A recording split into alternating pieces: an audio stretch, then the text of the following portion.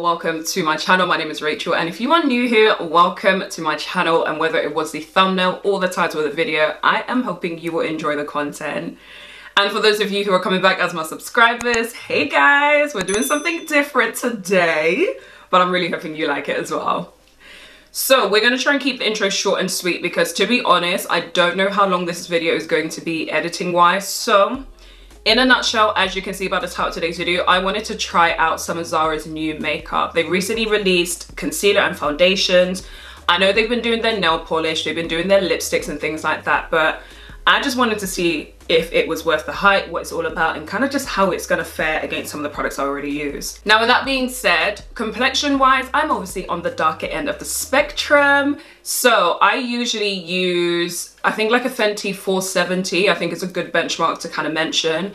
But I will in the description box put different foundations that I use, different shades, so you can kind of know where you match compared to me, or you just get the gist of what my complexion actually is.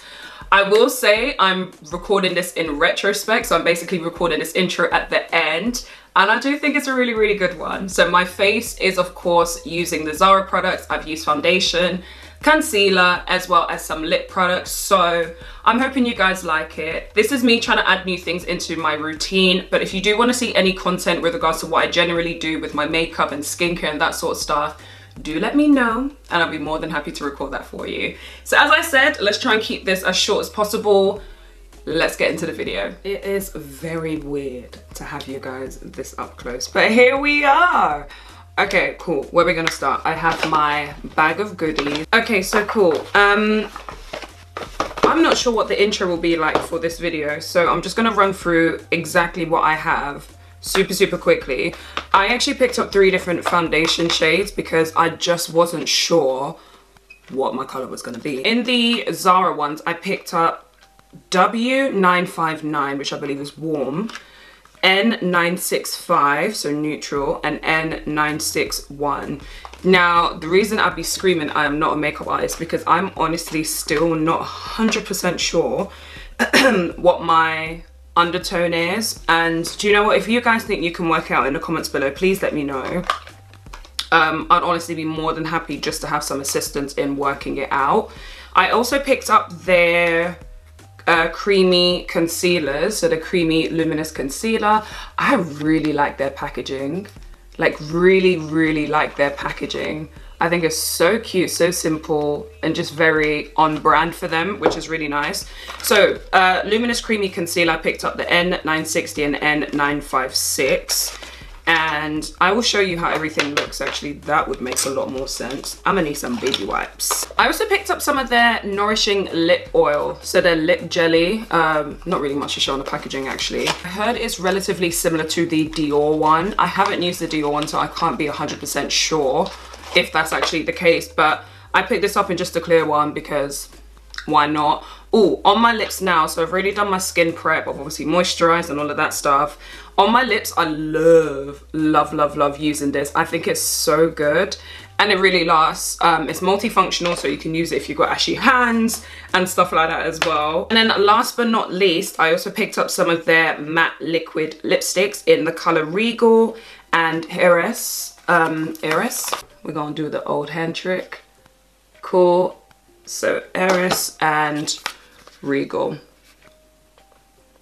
Oh, last thing I actually picked up is one of their brushes. I don't know why, but I just thought, why not? I might actually use it today. It's the Kabuki foundation brush. I was just like, maybe I should use it because this is actually the sort of brush I use for my foundation anyway. It's just a flat-ended Kabuki brush, which I think will be really nice. This is typically, as I said, the sort of brush I use to um, do my foundation anyway. If you notice, the one I've actually opened is the color N61, so you can't return makeup, but that's gonna be okay. I'm just gonna swatch it on my cheek here. This looks like it's pulling a bit warm and this is supposed to be neutral. Am I mistaken? It's supposed to be one of the neutral ones. So. Next, I'm gonna try the warm 959. Obviously, it's brand new. Love the frosted glass, although I don't think the fr frosted glass really helps with you working out what your shade is and I don't know if they've got testers in store. I should have said I haven't actually tried any of these in store. I haven't tried any of them before. Hence why I'm doing first impressions with you guys. but I don't know if they have testers in store. So if they do, of course, don't be like me. You can just test it out. The packaging also has this cool functionality on the, the foundation bottle, which I think is so good when you're traveling. So I'm pressing that down all the way. It's not going. It has this little, um, how would I say, this little icon just at the front there, which basically tells you to twist it to the side for it to actually pump out, which I think is really, really nice. This is the shade 959. I'm literally just going to put it a dab right next to it. It came up quite a lot. I think this might be a bit closer. This might be a bit closer, guys. Warm 959 might be more of my shade. These are drying down quite interestingly. I don't know if you guys can see how it's drying down, but last but not least, this is uh, W959, and I, I really do believe this is definitely not my color. But just for the sake Ciao.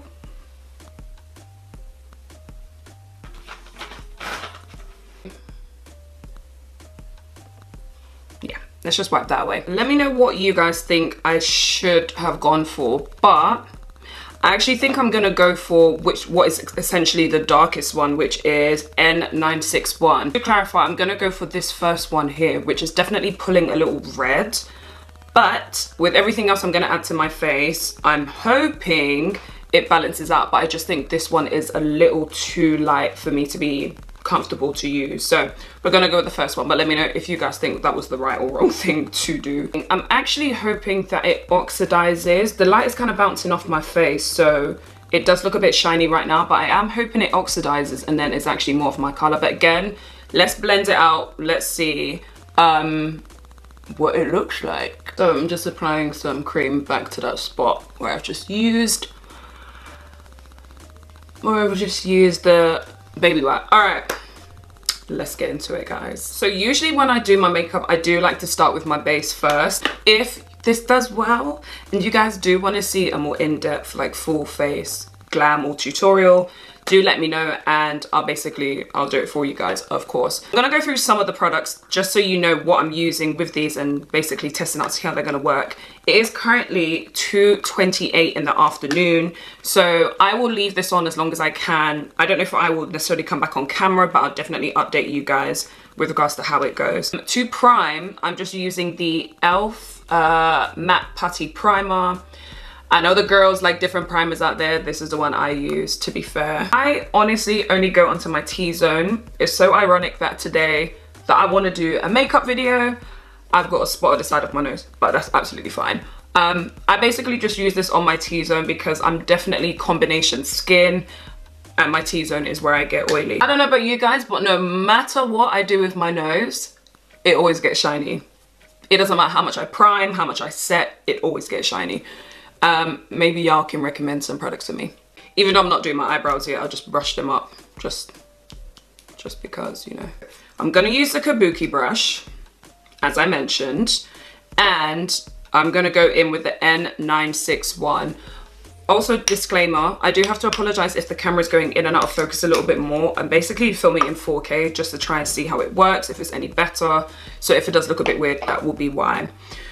So, are we ready to do this? Yeah, I'm actually not gonna squeeze it directly on my face. I'm gonna squeeze down here and then uh, use the brush to kind of, well, use my finger to just kind of like dab it on.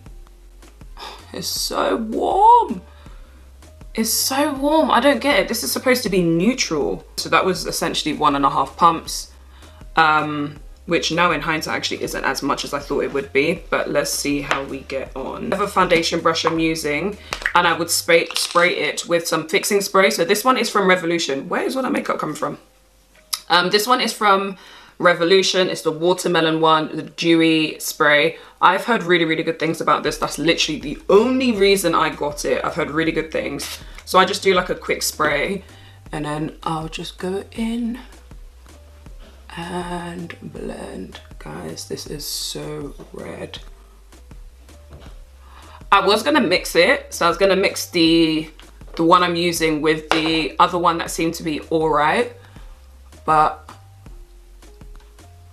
I don't know, just didn't, I didn't want to.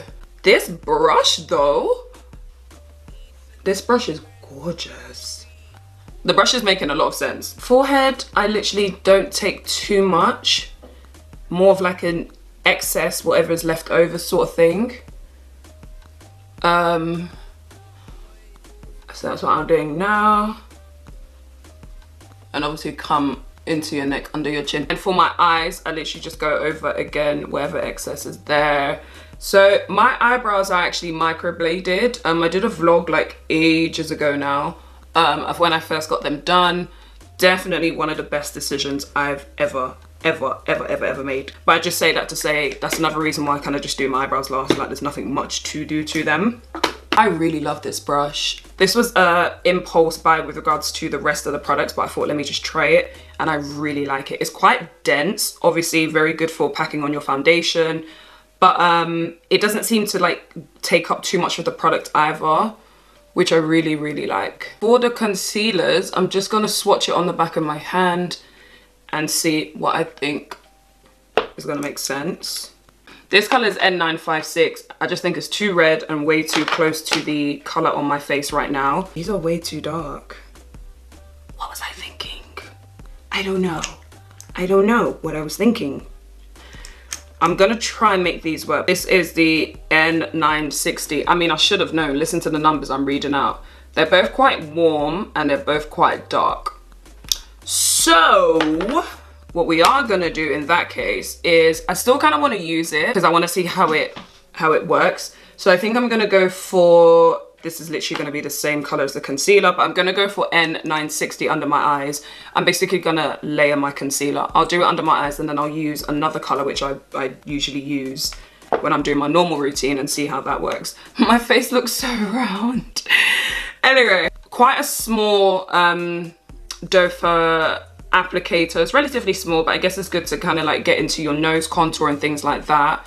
So I'm just gonna see under my eyes. Yeah, it's literally the same. It's literally the same color. Well, not literally, but close enough. It's quite a small, how much is this? This is 6 mil, 0.2 fluid ounces. So it's quite a small package. As you can see with concealer, this is pretty much how I always do it. I do under my eyes, of course, bridge of my nose, top of my lip because it needs some love, under my lip as well, so kind of like on my chin, and I uh, put a little bit on my forehead as well. What I will say is usually I let this dry down um, and then I'll do my, so I would let it dry down. What would I usually do? Let it dry down and do my eyes. So I think we can do that. I'm gonna keep my eyes, when I say super simple. I can't even, you'll see how simple it's gonna be. So I'm gonna do a really, really simple eye just while that dries down a little bit. And then I think I will layer, because I wanna see how it blends out before I put the other concealer I'm gonna put on top to kind of like brighten up my under eye. So I am gonna layer it. Completely unrelated, but this just came to my mind. Um, I'm gonna be selling some things on Depop because uh, I, I've given things to charity and I've made my donations. I've used uh, Farfetch's Thrift Plus service where they basically like collect the clothes and sell it for you. But I definitely still have some pieces that I kind of want to get rid of. So I am going to be putting things on Depop. I will put it on screen or if not, if I don't remember to do that in the description box below. So over the next month or so, um, I'll be putting up pieces as I kind of just like sift through my um, autumn winter wardrobe and then pick out some pieces from my summer collection from like last year. And that is literally all I'm gonna do to the eyes, apart from eyeliner and lashes, of course. So let's see. Gonna kind of see how this concealer's dried down. So usually I would start with my chin and my forehead first, and then uh, top lip, bridge of the nose, and then I do my under eye last. So I've just got a damp beauty blender sponge obviously that's just gonna blend right in but I'm not mad at it I can't believe I didn't get a lighter color I think online it looks like it's gonna be lighter than it is of course I think I'm actually willing to maybe buy just one of the lighter colors and see how it fits in with the rest of my routine but as I said for you guys I wasn't gonna put it on once I tested the colors and saw how like dark and basically similar to the foundation shade they are. But I bought it so I might as well test it. I can't return it. So yeah, and for me, obviously it's not dark enough to be a concealer shade, um, not concealer, a contour shade. This is the e.l.f. Hydrating Camo Concealer in Satin Finish in a colour Rich Walnut. I love this colour. It's just nice and light enough to kind of do what it needs to do. So I'm a fan. All right, and then of course I'm gonna let that dry down again. So I'll be back. I've let that dry down just a little bit and I'm gonna go back in with my beauty blender and of course just shade, I said shade, blend it out. So again, as I mentioned, I start with my forehead and when I do my, basically when I do my forehead and my chin, instead of like blending it out, I kind of like just pat into it and then I kind of diffuse it once it's kind of like all gone.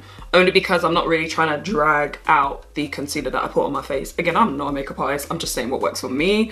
So yeah I just kind of like pat it in into the actual spot that it was in and then I just kind of like blend around once I feel like it's all gone. Same thing with my chin as well. Again, instead of coming like to the side of my mouth too much, I kind of try and take it up that way. And hopefully you can see the nose isn't too harsh. I am gonna contour, I'm still a contour babe, so that's, it would have been nice again if I had maybe one of the darker concealer shades to contour with, but that's fine. I'll use what I usually use anyway. So for my under eye now, um, I like to bring it into my nose to kind of help with the contouring process. I get really sensitive eyes, especially this one. It likes the water for fun. Apparently I've got dry eyes, so I try to combat that like with eye drops where possible. But I do have to be really careful when blending underneath my eye because if something gets into it, it's game over. With regards to the concealer, kind of give myself fish face or fish lips, whatever, just pull my cheek to the side and kind of just like blend it out where I think I'm gonna start contouring. Then I take another beauty blender. This one is honestly so dirty, but it is what it is. This one I keep dry. Again, I know it might be a little controversial, but it's just what works for me, honestly. So what I do is I take another small beauty blender, I go in with my Sacha Buttercup setting powder and I basically set my under eye or, or my concealer. Before I do that, just because I know again I get under eye creasing, so where possible, I literally go in again to try and blend it out and then I basically go straight back in with the other beauty blender. Now when I do my under eye, I proper press it in and then I just take a bit of tissue. I take a bit of tissue and I just like pat off the excess and then I go in with it. Do the exact same thing, go into the powder, press it in, make sure I get a good amount of surface area. Again, go with my tissue, just pat off the excess and then I go into my face. It was weird using my holding my beauty blender in my left hand. I don't know where it cut off, but I was just saying when I do my nose, uh, when I put the powder on my nose, I literally just come in to the sides a little bit, again, kind of like mimicking what my contour is gonna look like. But that's kind of me done for baking and setting my face. I'm going in with my contour stick from Morphe. I love this. For my darker skin girls, um, this is 10 out of 10. I've got mine in the shade Effect 20. It is the Dimension Effect contour stick. It is so good. So, so, so good. I'm talking uh, consistency for my complexion, like everything just makes sense. So um, I go into contour. Again, this might be a bit controversial for some. Obviously, I haven't blended up my baking or my powder, but it's just what I like to do. So I go in with my contour um, when I contour, again, not teaching you guys how to suck eggs, but for me, what I do is obviously just feel for where my cheekbone is and I go just above it so that I can basically like blend it out. So instead of taking it on my cheekbone and kind of like making my face look a bit longer or whatever, I don't even know what the right thing to say is, I go just above where my cheekbone is. So it will look a bit high when I do it um, and I literally just take it like that and the same on the other side as well. Same stick, just kind of take it along the edge um, and I just do my nose as well. You gotta be careful with this one obviously because it's a chubby stick. And I do the same on this side too.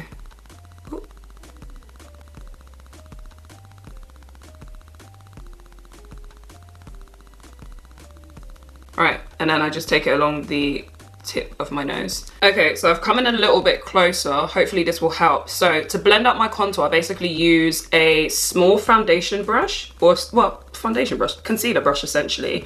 I just use this, I use this for my nose. So similar to what I was saying before, instead of going inwards, I kind of go along the line try to make sure you guys can see as well. I go along the line and I basically like just blend it outwards and I like to take it upwards into my brown line too.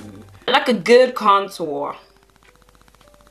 I'm trying to make sure I can see what you guys are seeing and vice versa. Cool. So that's my uh, concealer brush. I just go in with that and just kind of like go in. Now again, I know I said it might be a bit controversial because I've basically gone over my powder with concealer and whatnot. That's just how I do my stuff. So I literally take this, dab, dab, dab, dab, dab, dab, dab, dab. Careful not to go any higher because remember I've already put it like relatively high anyway. Dab, dab, dab, dab, dab, dab, dab, dab, dab, dab.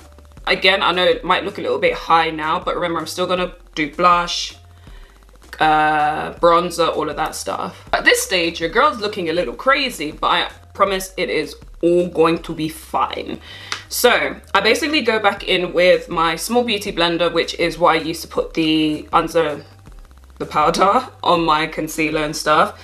And I just go back in and I basically just like pat in everywhere that I put the powder. All I do is try and be careful that if, it, if I think it did touch the contour that I don't then touch my powder because obviously it'll start looking a bit muddy. Then what I like to do is take just a little bit of powder, honestly just a little bit and kind of like semi-reverse contour just to clean up the line. At this stage, you still think it's looking crazy? Do not worry, we're gonna trust the process. I'm wondering what you guys are seeing on camera specifically, but I'm actually really liking the foundation and the concealer, but the foundation I think is actually tone wise I think it's doing a lot better than I thought it was to be.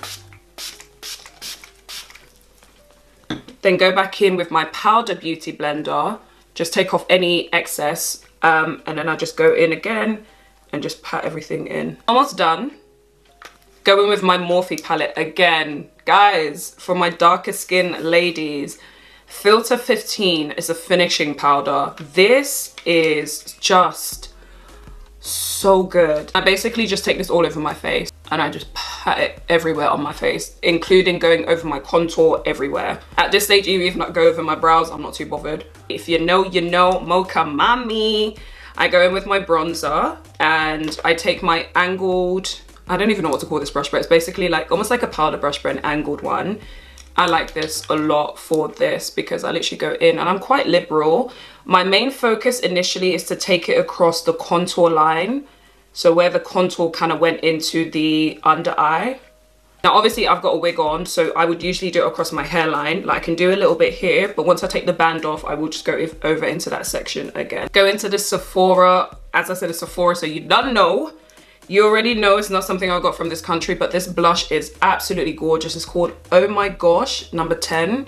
So this, I obviously focus a bit more to the center, but I do like taking it on the tip of my nose as well. Okay, in the interest of kind of saving time and whatnot, because I don't know how long this is gonna be, and obviously I just wanted to focus on the foundation and concealer primarily. I'm gonna do my eyes, I'm gonna do my eyebrows. I'll probably speed this part up and I'll come back and just finish off and then we can round up the video.